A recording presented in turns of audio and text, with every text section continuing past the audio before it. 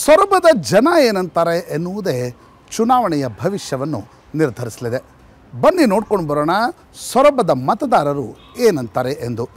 ಜನತಾ ಜಿಂದಾಬಾದ್.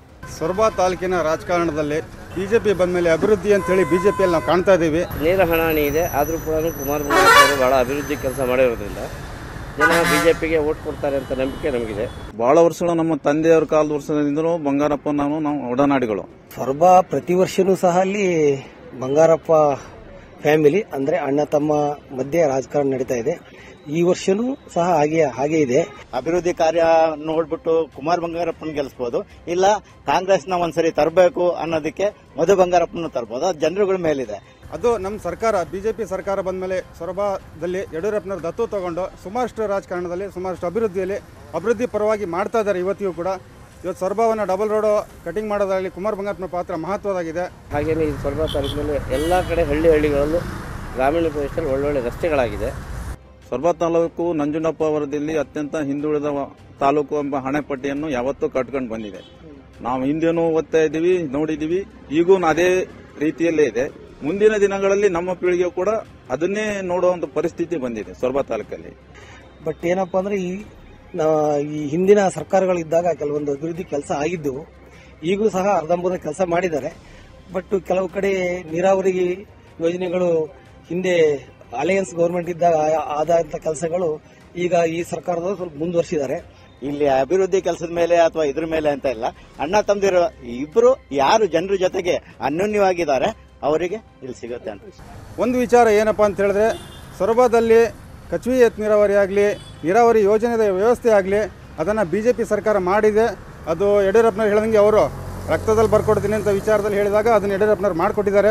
Congress trust fight ಕೊಡೋದಂದ್ರೆ ಈ ಸಲ J D S ಕಾಂಗ್ರೆಸ್ಸಿನ ಮತಗಳು ಒಂದು ಕಡೆ ಕ್ರೋಢೀಕರಣ ಆಗೋ ಸಾಧ್ಯತೆ ಇದೆ. ಹಾಗಂತ ಜೆ ಡಿ ಎಸ್ನವರು ಸ್ವಲ್ಪ ಒಳ್ಳೆಯ ಕ್ಯಾಂಡಿಡೇಟ್ ಆಗಿ ಅವರು ಕೂಡ ಫೈಟ್ ಕೊಡ್ತಾರೆ ಅಂದರೆ ಒಂದಿಷ್ಟು ಓಟನ್ನು ಕಲೆಕ್ಟ್ ಮಾಡ್ಕೊತಾರೆ. ಪಕ್ಷಾತೀತವಾಗಿ ನಾನು ಹೇಳ್ಬೇಕಂತಂದರೆ ಸೊರಬದಲ್ಲಿ ಅಣ್ಣ ತಮ್ಮ ಸಹೋದರನ್ನು ಬಿಟ್ಟು ಮೂರನೇ ವ್ಯಕ್ತಿ ಒಂದು ಆಯ್ಕೆ ಮಾಡುವ ಅವಶ್ಯಕತೆ ಇದೆ ಅಂತ ನನ್ನ ಅನಿಸಿಕೆ. ಯಾಕಂದ್ರೆ ಅಕ್ಕಪಕ್ಕ ತಾಲೂಕುಗಳು ಅಭಿವೃದ್ಧಿ ಕಾಣ್ತವಂತೆ ಅಂದ್ರೆ ಸೊರಬದಲ್ಲಿ ಯಾಕೆ ಕಾಣ್ತಾ ಇಲ್ಲ? ಅವರಿಗೆ ಒಂದು ಅನುದಾನ ಇರುತ್ತೆ, ಶಾಸಕರಾದರೂ ಮಿನಿಸ್ಟರ್ ಆದರೂ ಅವರ ಅನುದಾನವನ್ನು ಹೋಗಿ ವಿಧಾನಸೌಧದಲ್ಲಿ ಮೆಟ್ಲೆತ್ತಿ ಸಂಬಂಧಪಟ್ಟ ಅಧಿಕಾರಿಗಳನ್ನು ಸಿಎಂ ಭೇಟಿ ಮಾಡಿ, ನಮ್ಮ ತಾಲೂಕಿಗೆ ಇಂಥ ಕಾರ್ಯ, ಕೆಲಸ ಕಾರ್ಯಗಳು ಆಗಬೇಕು ಅಂತ ಅಂತ ಅನುದಾನ ಕೊಡಿ ಅಂತ ಪಟ್ಟಿ ಕೇಳುವಂತ ಒಂದು ಗತ್ತುಗಾರಿಕೆ ಇಬ್ಬರಲ್ಲಿ ಯಾರಲ್ಲೂ ಇಲ್ಲ. ಅಲ್ಲಿ ಈಗಿನ ಶಾಸಕರು ಏನ್ ಮಾಡಿದಾರೆ ಅಂದ್ರೆ ಕೆಲವೊಂದು ಹಿಂದೆ ಶಾಸಕರಾದ ಮಧು ಬಂಗಾರಪ್ಪನವರು ಏನೊಂದು ಬಗರಕ್ಕೂ ಹಕ್ಕುಪತ್ರಗಳನ್ನು ಕೊಟ್ಟಿದ್ರು. ಆ ಅವುಗಳನ್ನೆಲ್ಲ ರದ್ದು ಮಾಡುವಂತ ಪ್ರಕ್ರಿಯೆಯನ್ನು ಇವರು ಶುರು ಶುರು ಮಾಡಿದ್ದಾರೆ. ಶಾಸಕರಾಗಿ ಕುಮಾರ್ ಬಂಗಾರಪ್ಪನವರು ಕೆಲಸ ಮಾಡಿದ್ದಾರೆ. ಮಧು ಬಂಗಾರಪ್ಪನವರು ಜನರ ಜೊತೆಗೆ ಚೆನ್ನಾಗಿದ್ದಾರೆ. ಅದನ್ನು ಹೇಳಕ್ಕಾಗಲ್ಲ. ಅಣ್ಣ ತಂದಿರು ಈ ಕ್ಷೇತ್ರದಲ್ಲಿ ಇದ್ದಾರೆ. ಹಂಗಾಗಿ ಅವ್ರು ಗೆಲ್ತಾರೆ ಇವ್ರು ಗೆಲ್ತಾರೆ ಅಂತ ಯಾವ್ದನ್ನು ಕಡಾಖಂಡಿತವಾಗಿ ಹೇಳಕ್ಕಾಗಲ್ಲ. ಯಾವುದೇ ಗೊಂದಲಗಳು ಇಲ್ಲ ಇಲ್ಲಿ. ಗೊಂದಲ ಇದ್ರೂ ಸಹ ಮತದಾರರು ಯಾವುದೇ ರೀತಿ ಗುಟ್ಟುಗಳನ್ನು ಬಿಟ್ಟುಕೊಡ್ತಾ ಇಲ್ಲ. ತಮ್ಮ ಗುಟ್ಟನ್ನು ಗುಟ್ಟನ್ನು ಯಾವಾಗೂ ಜೊತೆಯಲ್ಲೇ ಇಟ್ಕೊಂಡು ಬಂದಂಥ ರಾಜಕಾರಣ ಸೊರಬ ತಾಲೂಕು. ಹಾಗೆಯೇ ಸೊರಬದಲ್ಲಿ ಒಂದು ಕುಡಿಯೋ ನೀರು ಆಗಲಿ ರೋಡುಗಳಾಗಲಿ, ಶಾಲಾ ಕಾಲೇಜುಗಳಾಗಲಿ, ಒಂದು ಫ್ಯಾಕ್ಟ್ರಿಗಳಾಗಿದ್ರೆ, ಒಂದು ಫ್ಯಾಕ್ಟ್ರಿ ಒಳ್ಳೆ ಫ್ಯಾಕ್ಟ್ರಿ ಆಗಿದ್ರೆ ಸೊರಬದಲ್ಲಿ ವಿದ್ಯಾವಂತ ಆದಂತ ಯುವಕರು ಬೆಂಗಳೂರಿನಂತ ದೂರ ದೂರದ ಸಿಟಿಗೆ ಹೋಗಿ ದುಡುವ ಅವಶ್ಯಕತೆ ಇರಲಿಲ್ಲ. ಈಗ ಸೊರಬದಲ್ಲಿ ಒಂದು ಚೇಂಜ್ ಅನ್ನು ಬಯಸ್ತಾರೆ. ಯಾಕಂದ್ರೆ, ಅಲ್ಲಿ ಇವರು ರೈತರು ತಮ್ಮ ಕೆಲಸಗಳನ್ನು ಬಿಟ್ಟು, ಕೆಲಸ ಕಾರ್ಯಗಳನ್ನು ಬಿಟ್ಟು ಬರೀ ಕೋಟಿಗೆ ಶಿವಮೊಗ್ಗ, ಸಾಗರ ಸೊರಬ ಶಿವಮೊಗ್ಗ, ಹೀಗೆ ಬೆಂಗಳೂರು ಕೋಟಿಗೆ ಅಲ್ದಾಡುವಂತ ಪರಿಸ್ಥಿತಿ ಆಗಿದೆ. ಹಾಗಾಗಿ ಜನ ಈ ಸರಿ ನನ್ನನ್ನು ಸೇರಿಸಿ, ನಾವು ಈ ಸರಿ ಕಾಂಗ್ರೆಸ್ನ, ಅಲ್ಲಿ ಈ ಬಾರಿ ಮಧು ಬಂಗಾರಪ್ಪನನ್ನ ಗೆಲ್ಲಿಸ್ಬೇಕಂತ ಹೇಳಿ ನಾವೆಲ್ಲ ಪ್ರಯತ್ನ ಮಾಡ್ತಾ ಇದೀವಿ ಈ ಬಾರಿ ಮಧು ಬಂಗಾರಪ್ಪನವರ ಕೈ ಹಿಡಿದ ಚಾನ್ಸಸ್ ತುಂಬಾ ಇದೆ. ಆದರೂ ಕೂಡ ನಮ್ಮ ಬಿಜೆಪಿ ಅಭ್ಯರ್ಥಿ ಗೆಲ್ತಾರೆ ಅನ್ನುವಂತ ಧೈರ್ಯ ನಮಗೆ. ಈ ಸಾರಿಯ ಚುನಾವಣೆಯಲ್ಲಿ ಇಬ್ಬರು ವ್ಯಕ್ತಿಗಳಿಗಿಂತ ಮೂರನೇ ವ್ಯಕ್ತಿಯ ಒಂದು ಆಯ್ಕೆ ಬಹುತೇಕ ನಿರೀಕ್ಷೆಯಲ್ಲಿ ನಾವು ಇದ್ದೇವೆ. ಅಂದ್ರೆ ಈಗ ಇಬ್ಬರ ಮಧ್ಯೆನೆ ಫೈಟ್ ಆಗಿರೋದ್ರಿಂದ ಇವ್ರ ಇಬ್ಬರ ಮಧ್ಯೆ ಗಲಾಟೆ ಮತ್ತೆ ಮೂರನೇವರಿಗೆ ಲಾಭ ಆಗತ್ತಾ? ಮೂರನೇವರಿಗೆ ಲಾಭ ಆಗಲ್ಲ ಸರ್ ಇಲ್ಲಿ. ಇವರಿಬ್ಬರಲ್ಲೇ ಇವರಿಬ್ರಲ್ಲೇ ಒಬ್ರು ಬರ್ತಾರೆ ಹೊರತು. ಮೂರನೇವರು ಬರಕ್ ಸಾಧ್ಯ ಇಲ್ಲ.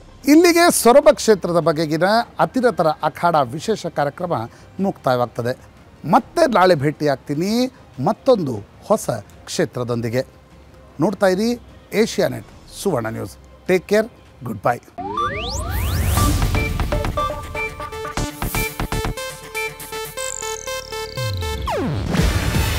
ಇದು ಏಷ್ಯಾನೆಟ್ ನ್ಯೂಸ್ ನೆಟ್ವರ್ಕ್ ಪ್ರಸ್ತುತಿ. ನೀವು ನೋಡ್ತಿದ್ದೀರಾ ಏಷ್ಯಾ ನೆಟ್ ಸುವರ್ಣ ನ್ಯೂಸ್.